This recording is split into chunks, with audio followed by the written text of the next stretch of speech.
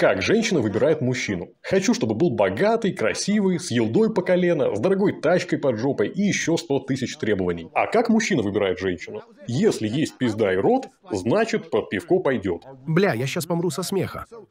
Вот шутки шутками, а большинство мужчин именно так и делает. Покрутил немножко на своем хуе, убедился, что вареник на месте, и все, ему этого хватает. Ребят, ну это же ебануться можно. Как можно так себя не уважать? Как будто ее вареник, блядь, из золота. Но это же не так. Окей, а на что тогда смотреть при выборе девушки? Как не нарваться на нетакусю, которая весь мозг выебет, да еще и оставит без штанов? Если не хочешь быть оленякой с вот такими рогами, то есть один проверенный способ. Бля, сейчас точно у всех не такусь подгорят пердаки, но я скажу как есть.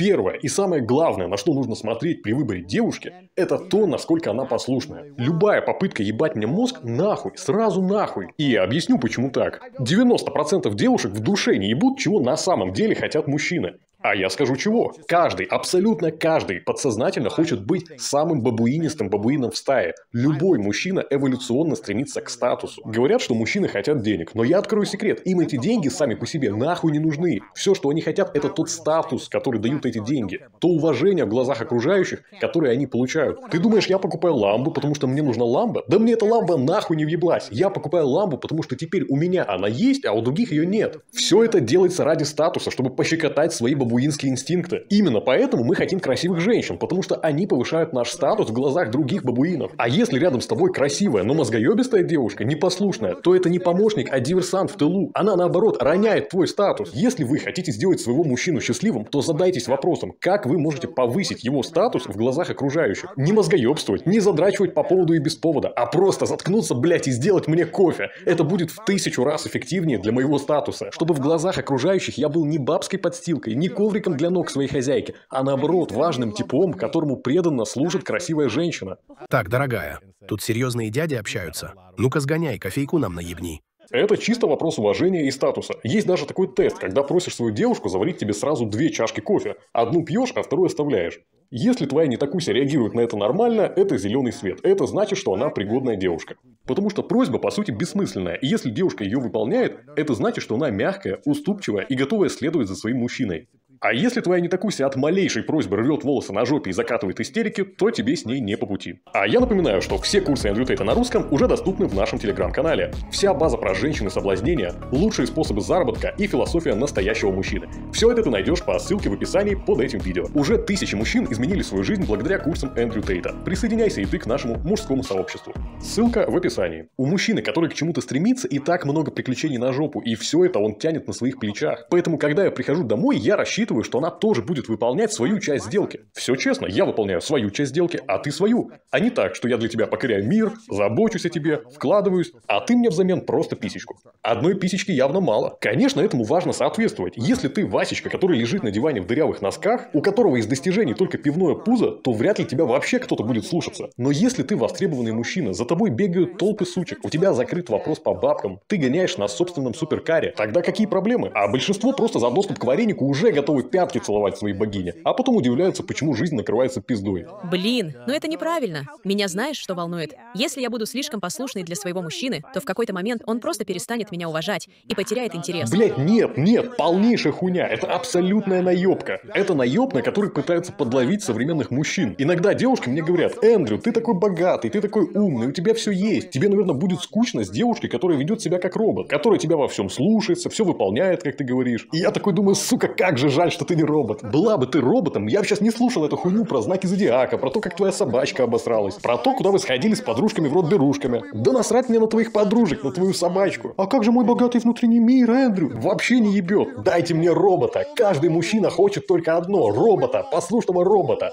Дайте мне четыре жены робота в паранже, блядь. Два кофе, пожалуйста. Вот и все. Понимаешь, это наебка, которую используют непослушные женщины. Пойми, невозможно быть слишком послушной, чрезмерно послушной. Ну как ты себе это представляешь? То есть я живу своей жизнью, кайфую, моя женщина меня слушается, любит, заботится. А я такой, блин, ну ты слишком хорошая, я пойду к другой. Так что ли? Так, блядь, не бывает. Вот представь, что я встречаюсь с девушкой, и она говорит, Эндрю, ну ты слишком харизматичный, слишком богатый, слишком красивый, слишком часто возишь мою жопу на ламбе.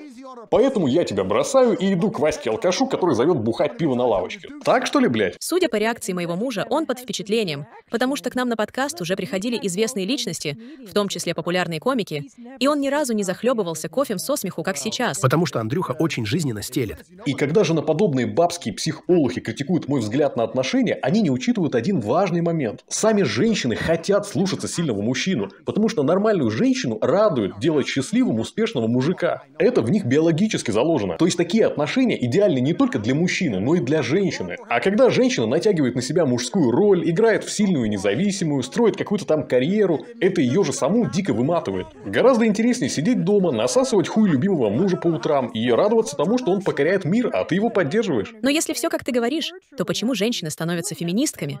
Зачем они объединяются, борются за какие-то права и свободы? Это наебка. Очередная наебка для того, чтобы ослабить мужчин. Потому что власть имущие очень сыкливые. Они боятся разъяренной толпы диких бабуинов. И таким образом они удерживают власть. Настраивают черных против белых, республиканцев против демократов, женщин против мужчин и так далее. Все революции во всем мире всегда поднимали мужчины. По сути, что такое революция? Это толпа мужчин, которая вышла на улицу, потому что их что-то заебало. Но сейчас полная тирания, и такого не случается. А не случается потому, что 90% мужчин это подкаблучники. Их просто жена не отпустит. Такая типа, дорогой, до 10 вечера, чтобы был дома. Обратно под каблучок. Ну а как же дети? Они же дома. Дети, само собой, но большинство мужчин даже дома не могут почувствовать себя королем. Этот бабский мир специально загнал мужчин в рабское положение. Ты и так приходишь с работы заебанный и вместо поддержки получаешь от жены мозгоебку, потому что она возомнила себя сильной и независимой. И на революцию сил уже не остается. Большинство мужчин находятся в глубокой жопе, куда их сознательно загнали. Продают себя на работе за 3 копейки, дома не имеют никакой власти. В общем, получается невнятная, непонятная, феминизированная хуйня, у которой яйца болтаются чисто ради галочки. И вот эта размазня, естественно, не поведет за собой толпу на баррикады. Он ведь даже женой своей управлять не может. Поэтому самый легкий способ ослабить мужчину – это наделить его женщину правами. Когда римляне захватили Грецию, знаешь, что они сделали в первую очередь? Они сознательно убили все боеспособное мужское население. И то же самое происходит и сейчас. Просто раньше они делали это открыто, а сегодня внушают мужчине, что он должен быть бабой с яйцами. И вся эта поебень убивает